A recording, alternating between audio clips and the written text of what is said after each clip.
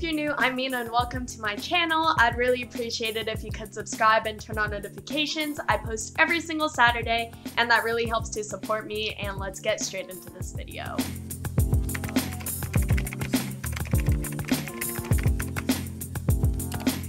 So before we get into the dorm tour, I wanted to give all of you guys a huge, huge thank you for hitting 1,000 subscribers. That means the absolute world to me. And to be honest, when I started my YouTube journey about nine months ago, I never would have believed that I would have been able to find any sort of community here on YouTube. But every single one of you guys are always so supportive, leaving comments on my videos and just watching my content. And I appreciate that so much. So I'm so, so thankful for all of you and I'm so glad that you guys are enjoying my videos and I can't wait to make more for you guys in the future. It's time for the moment you've been waiting for.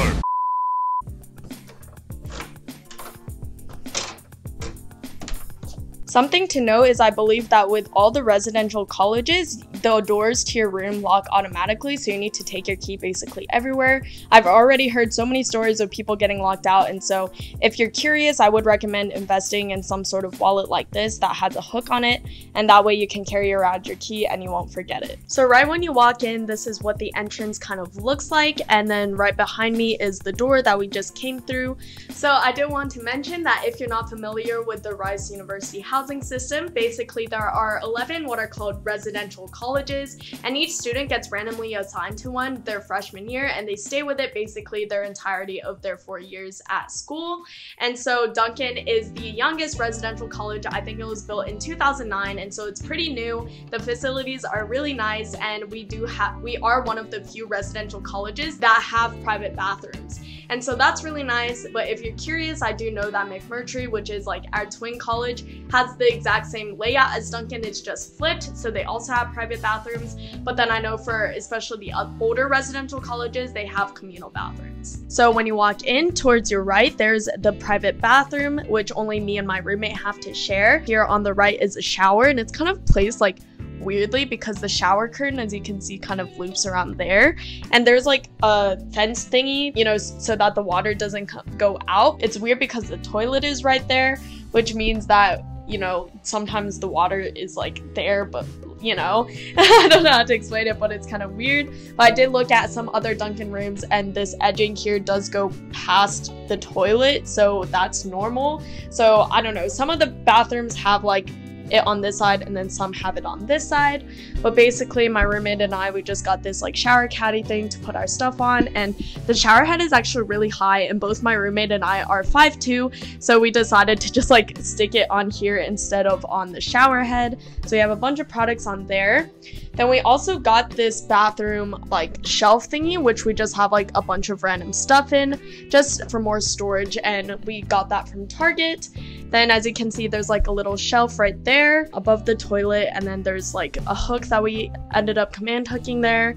There's a bunch of these like rods everywhere. So there's one right there and one right here. Then we just have a bunch of our products lining the shelf here. And I know that the shelf looks really small. So what my roommate did was she got one of these like vanity organizer thingies and then we that was able to save us a lot of space here is the sink it's decently sized i guess and then on the back of the door there's a hook where i put my towels and then my roommate just has her laundry basket down there.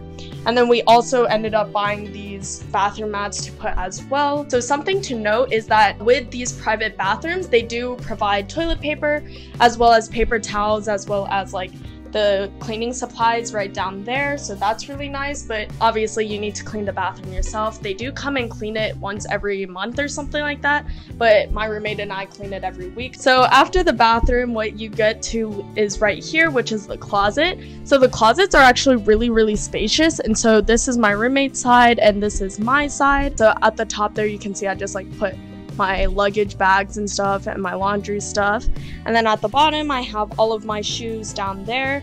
So it's actually really quite spacious and we ended up buying this standing mirror as well. We didn't hang it on the wall yet. I don't know if we should or not. We're still like debating using command hooks to like place it on the wall, but right now it's just propped up on the floor. Then we also have this like shelving system right here, which has a lot of shelves. I personally didn't bring that much clothes, so I didn't have to use it. So this is all of my roommate's stuff, but the shelving system is really nice and the closet's like actually quite big. So then when you come over here, this is what the entire room looks like. So that's all my roommate side. And then this side is my side. And it's actually really, really big, which is super nice. So basically, here's just my bed. And if you watched my college pack with me video, you would have seen all of these posters. So I finally hung them all up. And I'm really, really happy with how that turned out. And I think it looks really cute up there. And then I also printed out this canvas. And it was one of the digital artworks that I made. And so I printed it on canvas and posted it right there above my bed. Then coming here, this is like the desk area. So there are three different drawers here where I just have like a bunch of clothes in and so they're like pretty decently spaced drawers and I actually don't have enough clothes to even fill it up and so that's pretty nice. Then on this side there's also this other dresser thing, which also has three drawers. And it's a little bit smaller, but I just have a bunch of random stuff in here as well.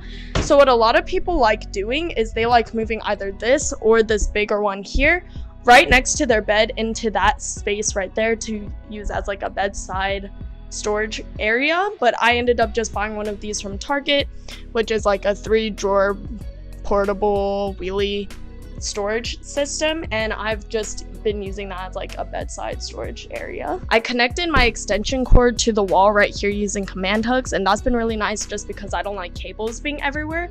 And it's kind of frustrating because the only outlets that are around the desk area are these two right here. So I had to hook up my extension cord so I could get a little bit more outlets. But then other than that, there's like basically no outlets around in this area, which is a little bit frustrating, but that's okay. Then I just have another storage box with like a bunch of like papers and stuff. And I just st store like my yoga mat and then like I usually put my tripod over there and then my laundry basket right there. And then I just have like all of my teas and stuff right here. I love my teas. I have some like Japanese candies in here, which are so good, by the way, if you've never had one of these. And I do have my bed lofted. So this is actually just how it came when I moved in and I did want to lower it but I've been too lazy to put in the work order. So my bed is actually like on the highest rung possible right here which has been kind of nice because I've been able to like just store a bunch of random things underneath my bed. But then as you can see for my roommate's bed it's a lot lot shorter so hers is about halfway up on the rungs and so that's been a little bit nicer. So if you're curious you can loft and deloft the bed if you want to. You just need to put in a work order for it. We do have a bunch of fairy lights, as you can see, kind of lining the room right there. So we ended up getting a 66 foot string of fairy lights if you're curious, and it is long enough to reach all the way across the perimeter of the room as well as going down there to an outlet that's behind my bed.